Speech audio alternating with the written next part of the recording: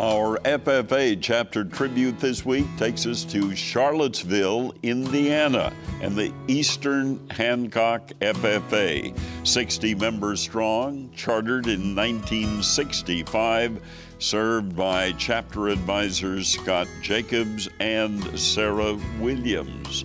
They do have an agricultural plot, eight acres of hay, but they also have an animal science barn as well as a greenhouse. And in that animal science barn, they farrow pigs, and then students raise them and show them at livestock shows.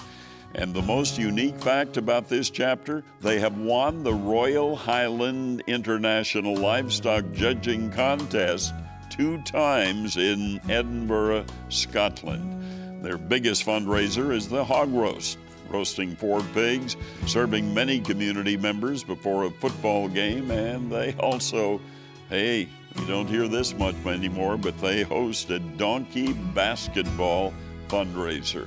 That's the Eastern Hancock FFA, Charlottesville, Indiana. This week's FFA Chapter Tribute.